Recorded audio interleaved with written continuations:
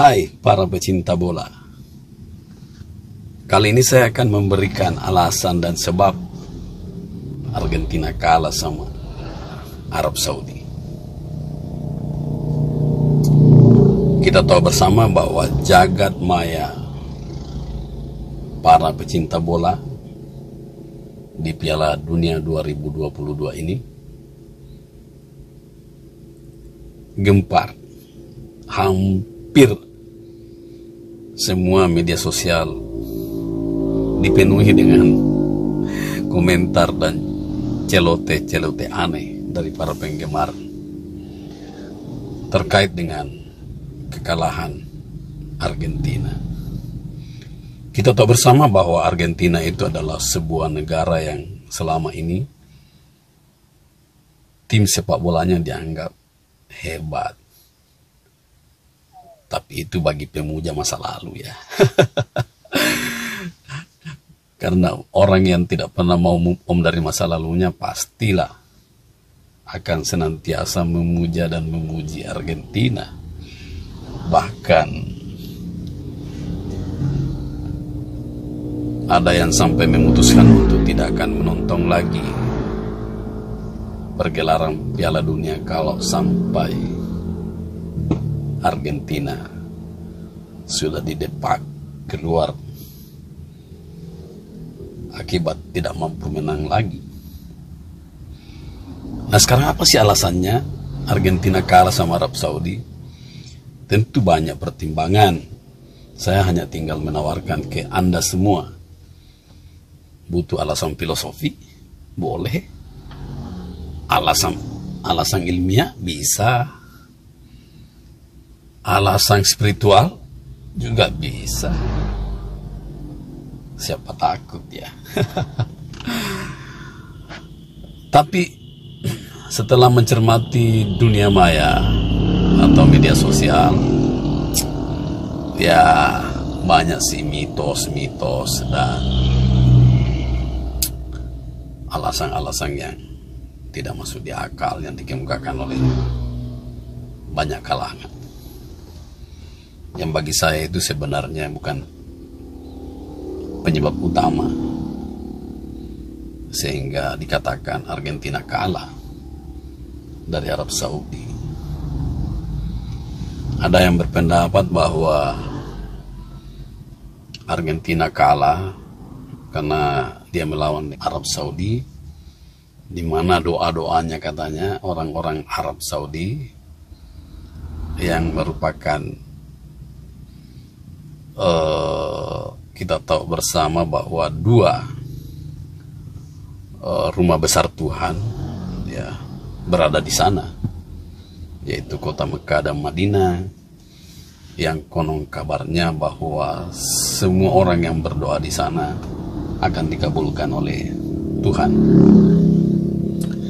Ada yang berpendapat begitu, tapi itu alasan itu tidak benar. Karena kalau itu yang menjadi alasan, nah kenapa baru kali ini Arab Saudi bisa menang?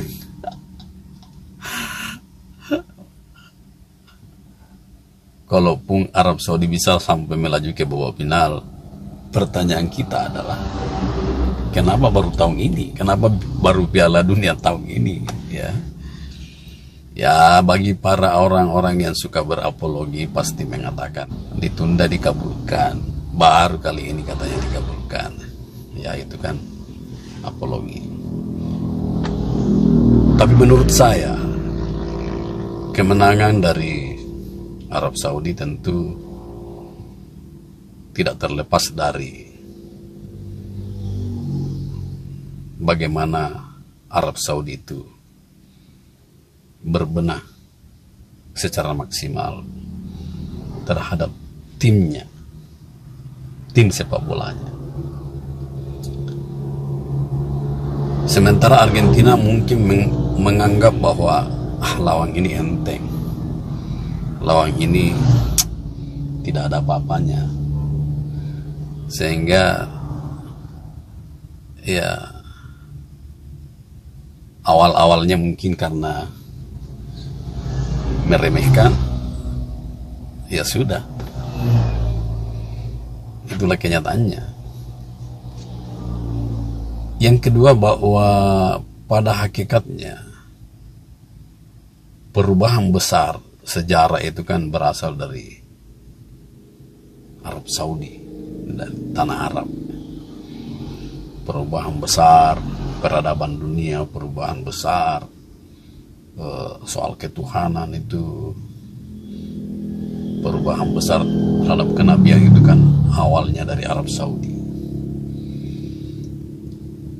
itu berarti kita tidak bisa menganggap remeh bahwa bisa saja semangat dan motivasi itulah yang membuat kemudian mereka bekerja keras membangun sebuah tim yang tangguh dan unggul. Ingat, Arab Saudi banyak uangnya loh. Dia bisa saja uh, dengan uang yang dia miliki uh, mencari pemain yang benar-benar hebat, melatih pemain benar-benar tangguh dan yang paling penting uh, mencari pelatih yang kemungkinan mampu membuat Arab Saudi semakin maju. Tapi tentu kita tidak bisa jumawa ya, jangan sampai baru mengalahkan Argentina, Arab Saudi lagi menjadi jumawa, menjadi sombong dan angkuh itu tidak boleh. Tetapi sesungguhnya kemenangan Arab Saudi tidak ada hubungannya sedikit pun. Karena doa.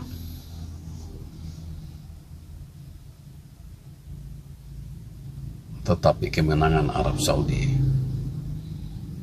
sesungguhnya kita harus akui itu disebabkan karena dia dengan 11 pemainnya